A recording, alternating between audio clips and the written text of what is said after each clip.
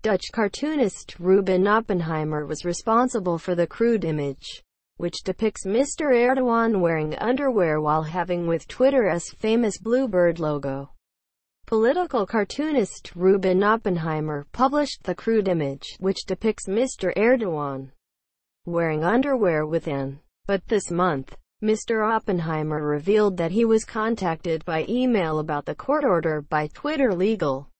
In the Turkish text, Mr. Erdogan's name is shown next to words roughly translated as requesting while Twitter. Com is next to words roughly translated as opponent.